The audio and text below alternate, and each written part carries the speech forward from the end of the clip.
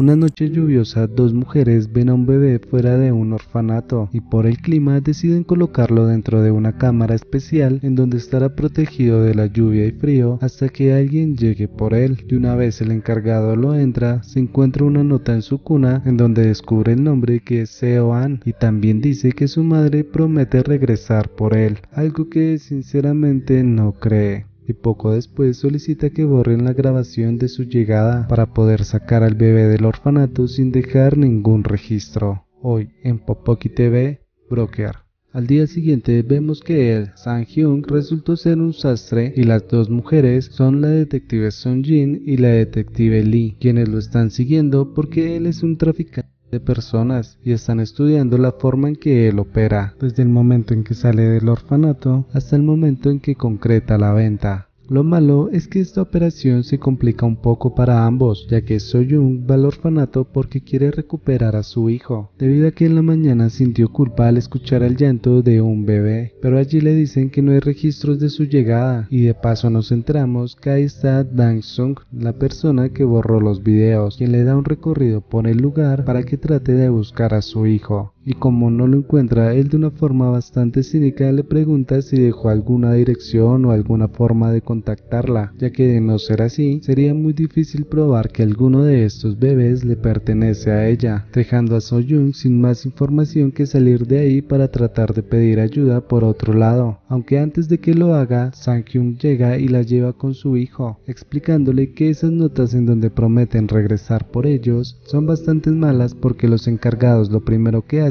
es sacarlos de las listas de adopciones y enviarlos a una guardería, y lo único que los espera allí es simplemente tristeza por quienes regresan por ellos y tampoco le dan la oportunidad de ser felices con más personas. De esta forma le explican que lo que ellos querían era darle un mejor futuro al niño, al conseguirle unos padres que tuvieran los recursos y el amor suficiente para poderlo compartir con él, porque prácticamente ellos son unos brokers y no secuestradores como los llamó cuando los conoció, porque de hecho aquí habrá un pequeño beneficio, los cuales generalmente son 10 millones de wones que ahora podrían repartir fácilmente entre los tres una vez terminen la transacción, y aunque ella aún tiene muchas dudas, planea hacer el viaje con ellos para asegurarse de que no la están engañando. Y más tarde, antes de salir, nos enteramos que Sang Hyung hace todo esto porque tiene una deuda bastante grande, debido a que solía tener problemas con las apuestas. Y como que no es el único que tiene problemas, porque Suyun se esconde apenas los ve, y de esta manera todos dan inicio a su viaje, en especial las detectives que están ansiosas por capturarlos sin fraganti. Cuando ya están reunidos con la pareja, resultan ser unas personas muy odiables. Primero les dicen que el bebé no es bonito como en las fotos, luego que no se le ven las cejas, y todo esto es porque querían pedir un descuento o un pago diferido a 12 cuotas. Pero bueno, Soyun interviene para decirle sus verdades en la cara, y termina cancelando la venta porque no va a permitir que su hijo esté con unas personas tan miserables como ellos, por lo que comienzan a mirar otras opciones de clientes, solo que para eso deben deben hacer una parada en otro orfanato, en donde todos los niños conocen a Dansu y para no levantar sospechas, presentan a Song Jung como la esposa de Sang Hyung. Al caer la noche, como son viejos amigos, salen a beber un poco y hablan sobre lo difícil que es la crianza de tantos niños. Y como los brokers son tan descuidados, dejaron al bebé solo. Por suerte, las detectives estaban por ahí y le cambiaron el pañal y lo reconfortaron hasta que volvió a quedar dormido. Al regresar a la habitación del orfanato, comienzan a discutir sobre las madres que abandonan a sus hijos, porque Don Song no entiende la razón de por qué alguien haría algo tan terrible como eso. Y lo peor de todo es que cada 40 niños que llegan con una nota en donde su madre les promete que regresará, solo una lo hace. Una estadística que molesta bastante a Soyeon, quien le dice que también debe de culpar a los padres, porque un hijo se hace con dos personas. Además de que criar un hijo solo es bastante difícil en especial cuando no se cuenta con los recursos necesarios, y lo remata diciéndole que si él tanto ama a los niños debería vivir en un orfanato con ellos. Obviamente no sabía que Don Song es uno de esos 39 niños que sus madres nunca volvieron. Pero cuando Sanang se lo dice, bueno pues ya siente la culpa.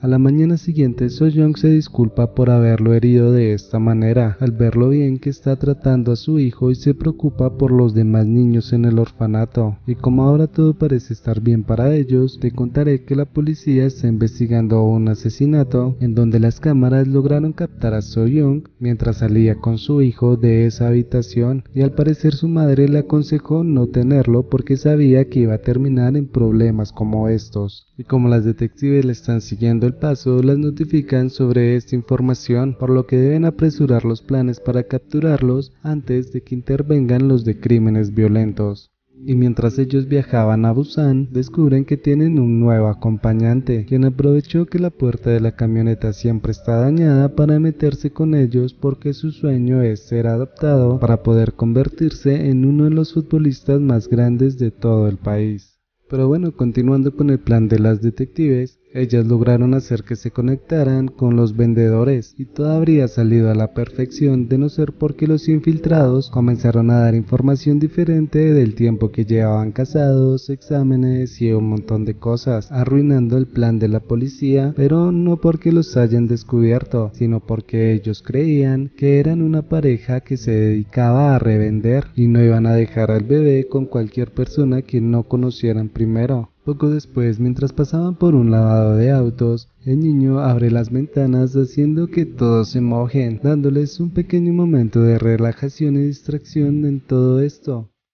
En la tarde, mientras hacían las compras, la detective Sojin y le propone reducir su sentencia, se ayuda a documentar el proceso para capturar a los delincuentes. Y esto casualmente coincide con un nuevo comprador quien está dispuesto a pagar 30 millones de wones. Pero en medio de la conversación se ponen a hablar de otras cosas que no tienen nada que ver con el tema, haciendo que las detectives duden si de verdad ella piensa ayudarlos o les dio alguna señal para distraerlos.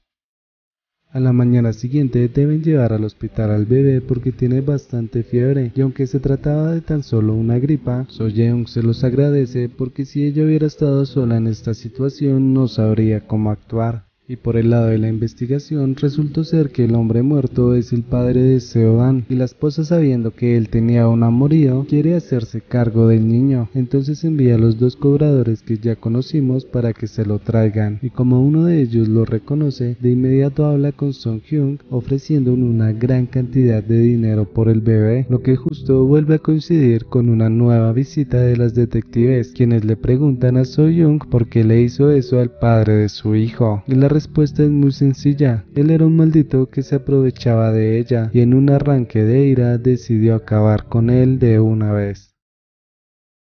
De regreso a la habitación, escuché que ellos están hablando sobre los genes, ya que en Corea se dice que los hijos mayores hombres se parecen al padre y las hijas a las madres algo que pone el ambiente bastante tenso, porque dos de los que están ahí son huérfanos, y esto a su vez preocupa a Song Hyun, quien no quiere que su hijo conozca la cara de una asesina. Y este comentario lo hizo para confesarles que ella había matado al padre de Song Ga, y les menciona también que la esposa de ese hombre la puede estar buscando para meterlos a todos en problemas. Una situación bastante preocupante, tanto así que Dan Su no durmió en toda la noche por revisar la camioneta y efectivamente comprobó sus sospechas porque encontró un GPS, aunque no pensó que era de la policía, sino de esa mujer por lo que entre los dos comienzan a planear algo, y es noquear al cobrador, poner el rastreador en otro carro y escapar del camino lo más rápido que puedan. Ya sintiéndose más seguros dentro del tren, Song Hyung habla con Sang Hyung sobre que tal vez la vida de los cinco habría sido diferente si se hubieran conocido un poco antes. Y de paso nos enteramos que ella le colocó ese nombre a su hijo porque significa estrella con alas. De esta forma podía pensar que él estaba allí arriba cada vez que viera las estrellas luego de haberlo abandonado. Al poco tiempo llegan a Seúl en donde conocen a los compradores, una pareja que por problemas en el parto perdieron a su hijo. Y algo curioso aquí es que la mujer se ofrece a amamantar al bebé cuando lo escucha llorar, demostrando que ella sí va a poder manejar el compromiso de ser madre. Solo hay una pequeña condición y es que el hombre no quiere que el bebé sepa que es adoptado. Ya saben, para evitarle problemas de identidad cuando esté creciendo. Aunque él es buena gente y sabe que esta decisión no es nada fácil de tomar, por lo que le darán todo un día para que lo piensen. Al salir del hotel van a un parque de diversiones en donde comparten por última vez. Después de todo, esa familia sería bastante buena, crecerá rodeada de amor, dinero y atención, ninguna de las cualidades que ellos tienen ahora para ofrecerle al bebé.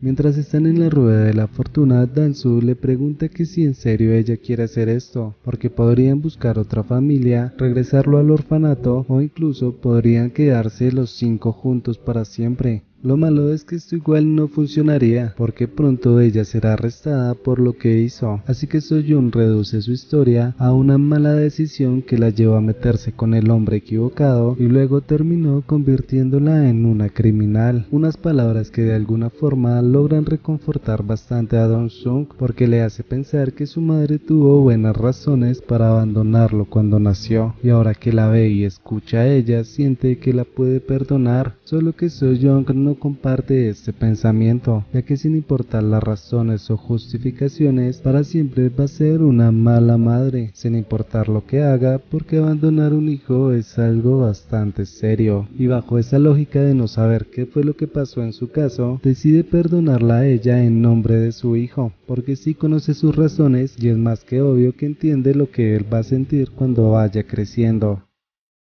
Al caer la noche en el hotel, todos le piden que le diga unas cuantas palabras a Songa, ya que esta noche sería la última vez que lo vería, y sin importar que él no las entienda, todos los hijos merecen escuchar a sus madres al menos una vez. Así que ella le agradece a su hijo por haber nacido y darle alegría en un momento en donde su vida era muy horrible, al igual que también aprovecha para agradecerles a los demás por estar con ella, y ellos a su vez también se lo agradecen.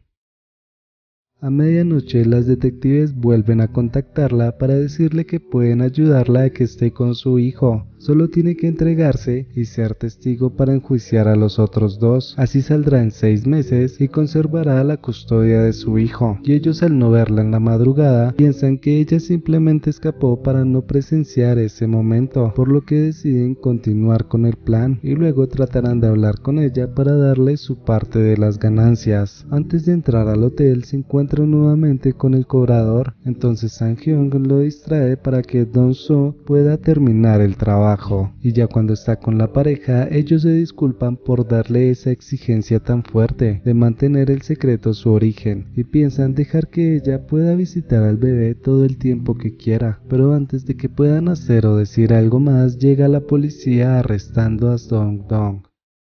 Que estaba en el paradero de autobús, ve en las noticias lo que le pasó a su amigo, además de que encontraron el cuerpo de un hombre con muchísimo dinero, dándonos a entender que él acabó con el cobrador para salvar al bebé. Tres años después, la detective Song Kim se encargó de él como se lo prometió a su madre, hasta que la última pareja que habían visto terminara el trámite legal para poder adoptarlo sin ningún problema. Y Song Hyun al parecer ya está libre y se encuentra trabajando.